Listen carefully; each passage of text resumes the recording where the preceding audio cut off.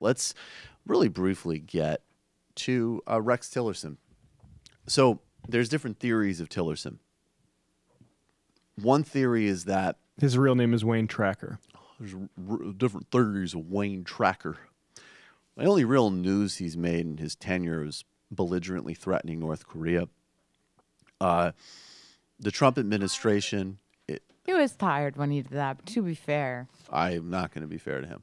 The uh, he he uh, the Trump administration is gutting the State Department. The State Department is in complete disarray, and the question is: Is this a feature or a bug? Uh, I think it's. A, I would tend to think it's a feature. I think that Rex Tillerson only sees oil. He only sees global petro deals to the point of not even caring about s- traditional security alliances. He ditched a NATO meeting to go meet in China and didn't take any press with him. What's he talking with China about? Potentially North Korea. I'm sure also energy deals. Here he is blowing off Andrea Mitchell on MSNBC. Mr. Secretary, North Korea is now threatening preemptive action. Can you say whether you think that's a dangerous escalation, sir? No comment today. Thanks. Any comment on the NATO meetings? See you tomorrow. Thank you. So there he is blowing off Andrea Mitchell and he's probably tired. and he's basically been saying from he hasn't whole he's he's given the press very very little attention and that he and even though he blew off this NATO meeting which uh, concerned a lot of Europeans the White House has confirmed that they will give different dates for the meeting where he will meet with fellow uh, European ministers um, And Trump's going to Brussels. and too. Trump is going to Brussels as well. Here's something that Rex Tillerson has told the press. In a conversation which took place with the Independent Journal Review, a conservative news outlet, because of course you should not take the New York Times, Wall Street Journal, Financial Times with you on a trip to China, and you should blow off Andrea Mitchell. I don't like Andrea Mitchell particularly, but I mean, it's ridiculous that you don't give Andrea Mitchell time and you give this site time.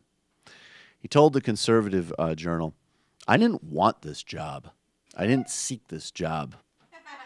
When asked by an aide why he accepted the position anyways, he responded, My wife told me that I'm supposed to do this.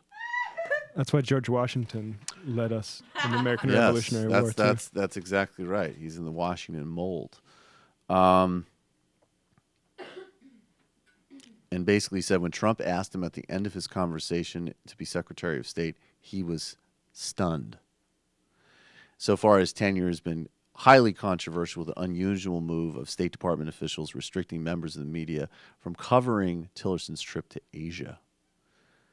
And then he defended his lack of transparency, saying, I'm not a big media or press access person. I personally don't need it. I understand it's important to get the message of what you're doing out, but I also think it's only a purpose of getting the message out when there's something to be done. So you can see here, even if we took this at face value, and I think that there's no question that to the extent Tillerson is playing a significant role in this administration, it's to wire the world even more for Petro. That's the point. And even military and security strategy are going to be under a armed umbrella and certainly traditional diplomacy and that type of deal making, uh, which apparently Trump uh, is is jettisoning at this point, is not going to be important to the State Department under Tillerson. But this also shows the pathology of fetishizing the CEO. Exxon is one of the most least transparent corporations in America. It operates globally. It's been implicated in everything from human rights abuses in Aceh in Indonesia to uh, leaks in the United States that have damaged public health to all sorts of potentially corrupt deals in Russia, in uh, Chad, in Africa. And their principle is well, maybe you look at, as an example, enlisting professors to do quote unquote independent research. But it was a very, very press wary company. And he has taken, obviously, the same ideology and the same approach to the press to the State Department. And when you say you want America run like a business, well, that's going to mean the Secretary of State goes to China without press people, cuts God knows what deals, after saying a completely belligerent thing about potentially the most dangerous situation in the world in stasis, and then only spends his time with a crazy conservative hack website, which I believe is the same place that published the Barack Obama went to Hawaii and forced that judge to reverse the Muslim ban story.